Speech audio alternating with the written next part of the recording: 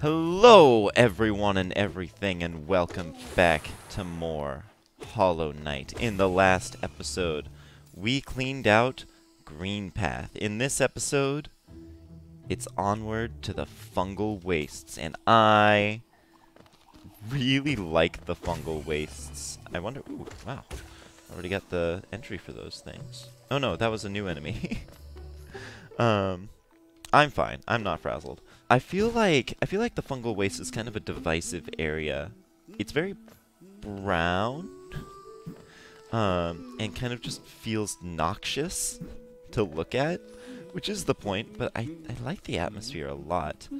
Straight down here at the start, we are going to kick it off with Cornifer. Always a good start to things. Ah, my short friend, you've caught me at the perfect time. I'm just about finished charting these noxious caverns. Very territorial types make their homes within this area. I'd suggest avoiding them where possible. Further below, some strange thin creatures gave me quite a scare. They seemed an intelligent bunch. In my youth, I'd have braved their caves, but I fear my matured physique wouldn't be able to outrun them, were they to turn violent. Purchase a map? Absolutely. Without question. Okay, we've got a very tall area to go through. Very circular as well, it seems. Let's carry straight on. The geo rocks in this area look like mushrooms. Um, that's something that's just a great little attention to detail in this game, is that the geo rocks in just about every area have their own identity. You can see another one down there also looks like a completely different mushroom. And something else further from that is we have seen remarkably few repeat enemies so far. We've seen like one or two in similar areas, like Vengeflies reappeared in Green Path, but past that, every single area has a brand new suite of enemies. We've got this door here with a lever on the far side, and a wall that we have no means of scaling, so it looks like this area is a dead end for the moment. I have to... I didn't acknowledge these bouncy mushrooms, but they are so much fun. They are, like, one of the best things about the nail pogo. You'll bounce just like this, really short, if you don't hit them, but when you hit them, you go flying upward. It's so satisfying. And another, another really good area to just sort of practice the timing of the nail pogos. Apparently I'm lost. Okay, there we go. How to jump. These big guys uh, are really tanky, and this one's going to stay out of my reach, so you know what? He can live. Away with ye. Ouch. These guys are very similar to the infected Mosskin from the last area, where they will just explode. These big ones have absolutely no means of defending themselves from above. They will only shoot downwards. I think I can get up here. I sure can. There we go. Oh shoot, these things. Okay, uh, I'm just gonna run straight past because this is treacherous. These guys shoot explosive uh, spores, which do 2 damage. Orange explosions like that will always do 2 damage. And I could just run away, but I do want to beat them. Yikes! Okay. Whew. These guys are pretty susceptible to spells. Oh my goodness, okay. We're gonna get through this. Scot-free, we got this. Uh, maybe not this. Yeah, okay. Okay, did not get through scot-free. That's okay. Um, if you can lure those guys' spores back into themselves and cause them to explode right next to them, the explosion is strong enough to kill those enemies in one hit. Which is a nifty, nifty way of beating them.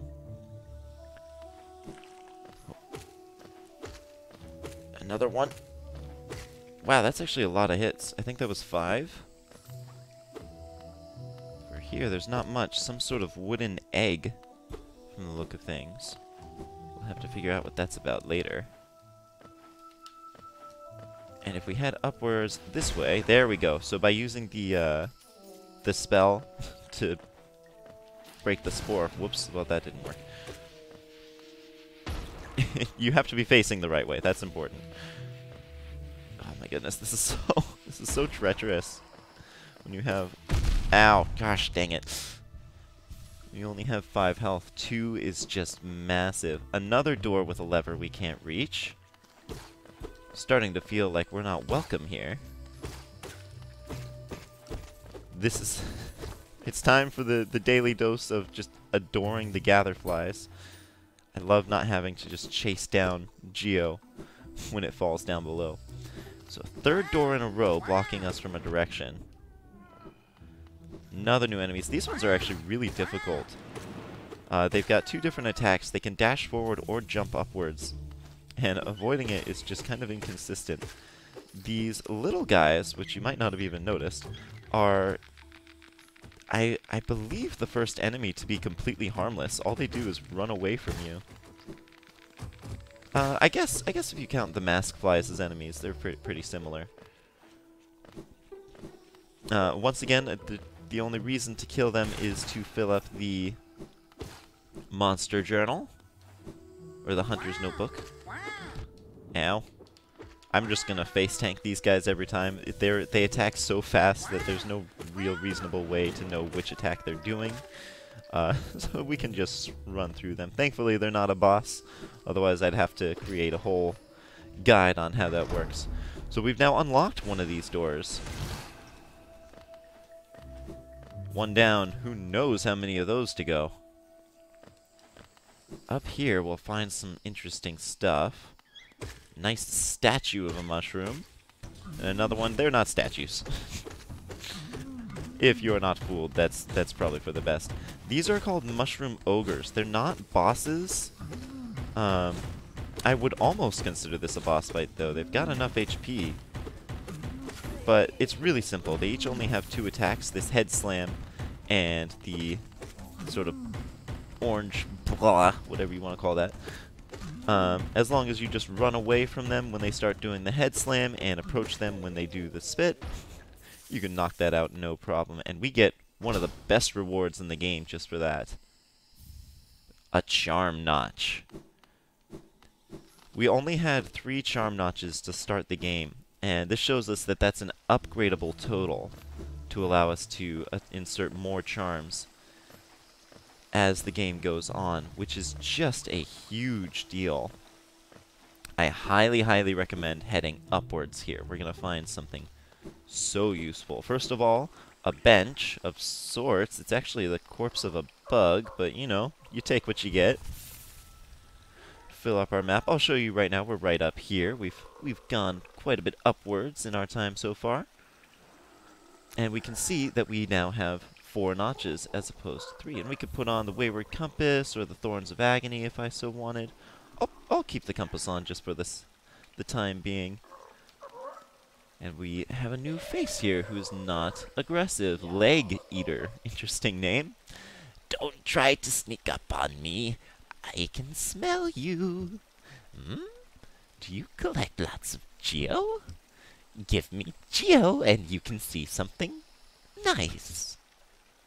Pay to see something nice? Well, that's not too much Geo, so that could be worth it. Only 86.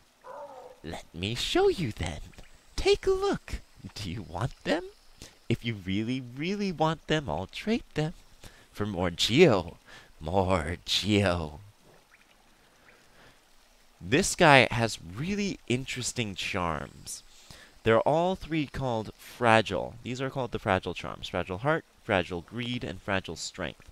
Each of them gives an incredible upgrade. Fragile Heart will give us two additional masks just for having it equipped, and they will act completely as normal masks, not like the blue Lifeblood masks that we've been getting from those blue cocoons. Fantastic charm there. Fragile Greed will increase the amount of geo dropped by enemies by about 20% rounded upwards. So that will absolutely make it so you are rolling in money should you equip it. And Fragile Strength, the real prize, increases your damage by 50% unconditionally. That is absolutely enormous. And it's also rounded to the nearest even number. So right now, with our damage at 5, that will increase our damage to 8 which is actually 60%. So that's just enormous. I love these charms so much. There is a catch, however. The fragile aspect of these charms is not just a fancy poetic name. These charms can break, which is a problem. Should you die while holding one of these charms, they will become a broken variant of a charm, which has absolutely no effect whatsoever. They can be repaired by bringing them back to this guy, and he will repair them for a cost. But that is quite the detour, especially depending on where you are. So you have to be super careful when wielding these charms. But we are in Steel Soul mode. Which means I can't die without just losing everything anyway. So instead of there being really any drawback, we're basically immune to the negative aspect of this charms. Ow! because again, we can't die anyway, otherwise we just lose everything. So the the added sort of consequence of losing these charms is completely inconsequential. So I have gone ahead and equipped Greed, and um, I'm going to use it to just get some extra money on our way up here. I will be using these charms fairly liberally, just because it's one of the biggest advantages of playing in Steel Soul mode, is the fact that these charms will just basically come at no consequence. I remember my first playthrough of the game, I never used a Fragile Charm. I bought them, I was like, these sound really cool and powerful, but like, I never wanted to risk them. I broke one the very first time that I had it equipped, and that was it. That was all that I was willing to do. I was like, nope, not going to do this again. Little dead end there. The palette here has once again shifted back to a dark blue that we may be familiar with. And if we head on up this way, we'll find ourselves back in very familiar ground, the Forgotten Crossroads. This is a really cool element of this game. It's pretty characteristic of a lot of Metroidvanias, but the map is going to twist around on itself and reconnect in areas that we've been to before. Here's the room that locked us in to fight some of these uh, aspids and we have come at it from a new direction. We can stop by the hot spring, fill up our soul just because we can. Hot springs are really rare, so I like to I like to stop by them every so often, just cause. Give me all that extra geo. I love it. I love the money. So we're going to head over this direction. I'm going to meet you uh, over by where we fought the Gruz Mother. So I'll see you guys there in a sec. Okay, back in the room where we found Sly after beating the Gruz Mother. We're to head off to the right here, because there's a jump that we can now make ever since getting the Mothwing Cloak, and this is one of the most important. Let's enter this little room. We find this rather heavy-set individual. Ooh, you surprised me. Hello, hello. Welcome in, sweetling. Come in and make your yourself at home. I'm Salubra, and this is my cozy little charm store. Did the town folk out there tell you to come and visit me? Hmm? Mmm, yes. This is a lovely little village, isn't it? Warm and intimate and full of life. Hmm, what were we talking about? Oh, yes, charms. I can see you've started your own collection. Very nice. I'll show you some of my own, and you can take one home if you like. Salubra sells charms, and quite a few really good ones. Uh, Lifeblood Heart will basically give us a renewable effect of those Lifeblood uh, cores that we've been finding with the blue cocoons. Every time we sit at a bench, those will be refilled, which is very useful if you're finding yourself taking a lot of damage. Long nail does just what it says on the tin there. It will increase the length of our nail, which is absolutely fantastic, giving us a bigger hitbox and more room to work with against enemies. Steady body will remove the knockback effect from our nail, making it so that we don't get hit backwards whenever we land a hit. Enemies will still be knocked back if they're susceptible to it, but we will instead be able to stand steady. I'm going to buy that one just because it's so cheap and Shaman Stone, one of the best unequivocally. It increases the power of any spell that we use. How much it increases that power by varies, uh, but it is always an upgrade, and I am definitely going to buy that one. That's one of my favorites. But more than that, she sells charm notches, which are incredible.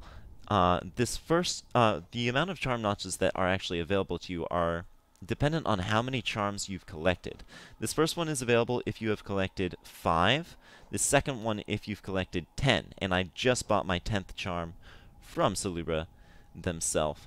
So, I'm going to go ahead and buy both of these. It is absolutely a no-brainer.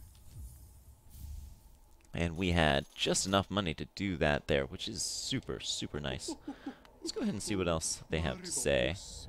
Do you wear a lot of charms at once? It's a lot of fun, isn't it? Mixing and matching them to get the perfect combination. I don't know whether you've noticed, but some charms seem to like each other. Yes, mm. When charms like each other, they shine even brighter and sing even more sweetly. Even more reason to try out all sorts of fun and surprising combinations, hmm? You'll show me whenever you have a new favorite, right?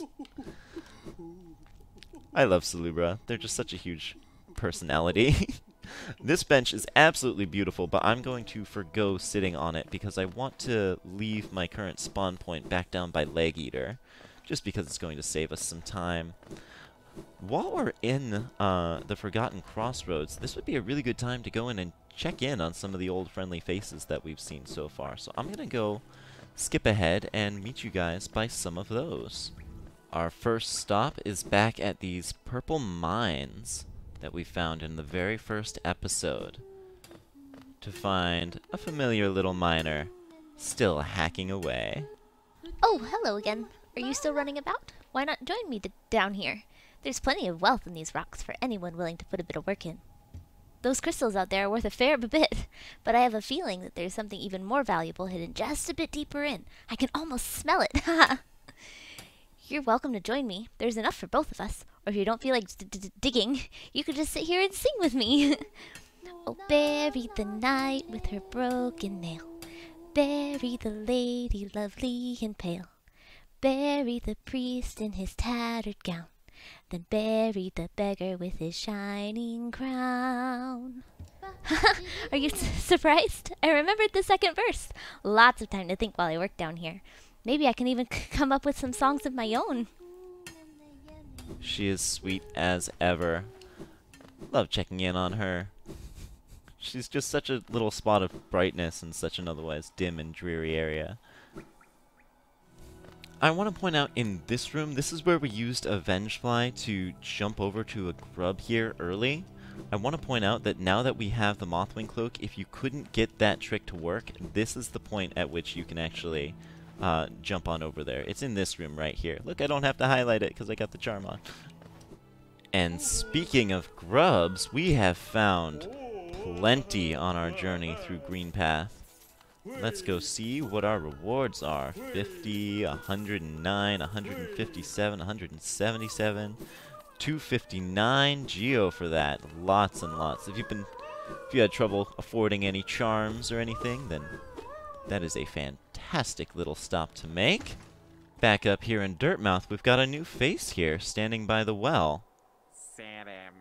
Pale thing, you wear that nail with ease. If you're in search of combat, you'll find no great warriors in this decaying burrow. I've heard an arena exists somewhere below, one built for our like.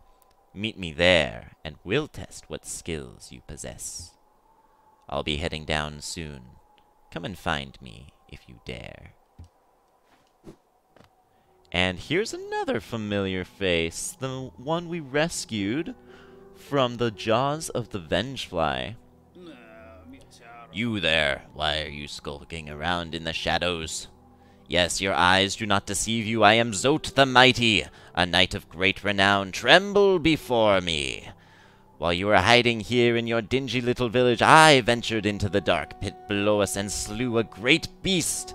It had sharp mandibles and atrocious manners. Yes, yes, all glory to me, but I don't have time for your adulation. I must rest and prepare for my next journey down.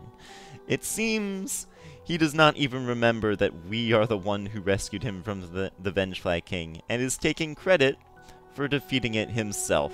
That's just great. Of all the places to end up, we've picked this dreary town. I'd have thought it a temporary stop. Then my husband became obsessed with that old ruin. Now he's spending all his time down there. He argues cartography is sound business, but other than you, who's buying? Well, I am buying. Have we got anything new? Got a bit of Geo to bandy about, but I think the only one I'm going to buy is the bench pin. Just, just for the sake of it. And that'll show us, we can see that there's a bench in this town. Oh, well, I hadn't noticed. How about you, Elderbug? I never thought I'd see such a thing. The Stag Station has opened. That building lay silent since before even my time. Oh, I've heard the tales of the glorious line, a web of tunnels running all through the kingdom. Not that I'll be traveling them, mind you. Whoops. Uh, I will throw up what he said on screen, because I, I missed it. Did you visit that temple? A strange building, I've heard, though I'd never dare to journey myself. The braver among us once went there to pray, said they felt at peace within the walls. After a while, they stopped going. I wonder what changed. A young couple's just recently taken up residence in the house beside the station. Seems they're running a map shop, which may excite adventurer types like yourself. She's a tall bug, the wife. I told them take the larger house, especially given they're all empty, but they liked the look of that one. The way she has to bend to get through the door, I wouldn't put up with it myself. Many used to come, hoping the kingdom would fulfill their desires. Hallownest it was once called, supposedly the greatest kingdom there ever was, full of treasures and secrets. Hmm, now it's nothing more than a poisonous tomb full of monsters and madness. Everything fades eventually, I suppose. My understanding of Hallownest can be a little vague, but below those leafy caverns is a fungal grove, once home to peaceful creatures, not quite bug, not quite plant. Sounds almost worth a visit, no? Well, there's a downside. The dreadful stench! A noxious odor fills the place. Feeling tired? That bench may be iron, but I assure you it's quite comfortable.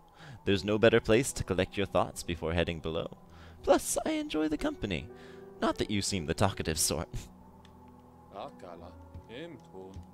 ah, I would think I enjoy the knight's company as well. Look how frickin' cute he is. Little arms all just tucked in. What you been up to, Sly?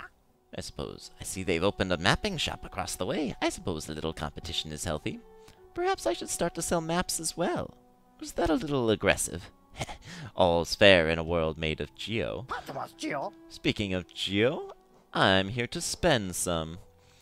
Uh, I have been spending a lot, so I can't really afford much, but I definitely, excuse me, I said I definitely want this mask shard.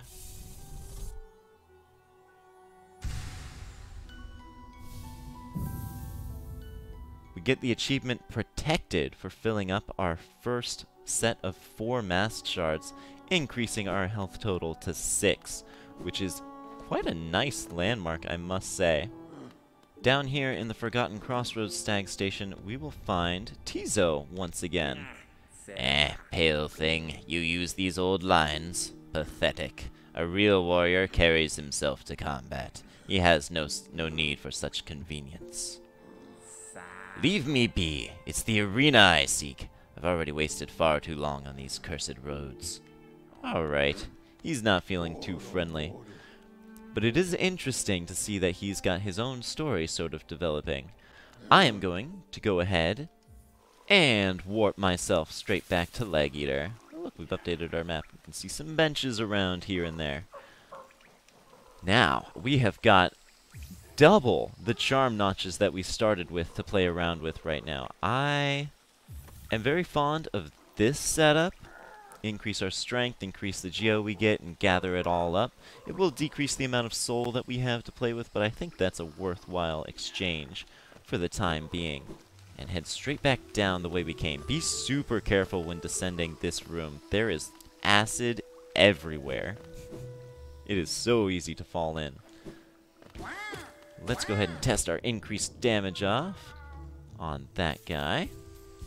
Increased health, increased damage. We are super upgraded now. We have got all kinds of just abilities and extras under our belt now. It's just that satisfying feeling of becoming stronger. We've got a huge metal door here that seems to be shut absolutely tight and no switch in sight. We may bear it in mind, but it doesn't look like it's opening anytime soon. No! Okay, well, that's one way to do it. I got hit by the enemy, uh, who only did one damage, and the invincibility frames made it so I didn't get hit for two. And we're just doing it again. That is, apparently that's the tactic of the day. Just kidding, don't do that. Was smart of me. Ow! Okay, this is fine. Everything's fine. Off in this room, there's not going to be much for us now. But we do see an interesting grave. We remember the Elder. Some sort of either a grave or a shrine. Definitely worth bearing in mind for later, though. No, why did you respawn? Oh, dear. I'm in trouble here. Okay. uh, be careful.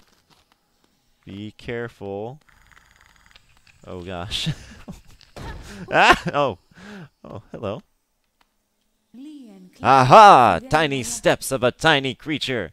You got the look of an adventurer. We've so much in common. Searching for dangerous places, eh? Well, right now I actually think I just need to heal. Well, you're on the right track. A long-necked critter warned me of a tribe deeper down. Warrior sorts. So she says I'm so she says, and I'm itching for some serious combat. Keep sharp, my adventurous friend. Stay alive, and let's meet again on the road ahead. Let us indeed, Cloth. Cloth is quite a favorite character of mine. I am nervous right now. I am not used to being down at 2 health with no... Uh... Nothing, no soul to heal with. Uh, I could bench warp back up to Leg Eater right now, but I feel... And even though I'm not in immediate danger, uh, I feel like that would be cheating, because the only way to get back to Leg Eater right now would be to, um... Okay, don't, don't, don't be, don't be too risky. Uh, the only way back to Leg Eater right now would be back through those explosive spore guys. And, uh, I don't think I'd survive that path, so we're just gonna, I'm just gonna play it... okay, I see a guy who can give me some soul. Step away from the ledge. Oh, and a soul totem! Oh my gosh. We're saved. Okay. I kind of regret having fragile strength on right now because that took fewer hits, and those fewer hits got me less soul because I don't have soul catcher on. But whew, it's workable with. we we're okay. Hey, another familiar face. Well, same to you too, Hornet. Here ends the Pilgrim's Way. Hallownest's heart lays open before you. Proceed onward to share in its glory. Well, seems our journey is reaching something of its climax. That is going to be all for today. In the next episode, we may find out just what that's all about, or we may we may not. Mysteries stand before us, and which ones we solve are entirely up to us. If you liked this video, thank you so much for watching. But before you hit that like button, just know that if you do, I will overcharge you for everything that you wish to buy and just bleed you dry of all your Geo. Just see if I don't. See you guys next time.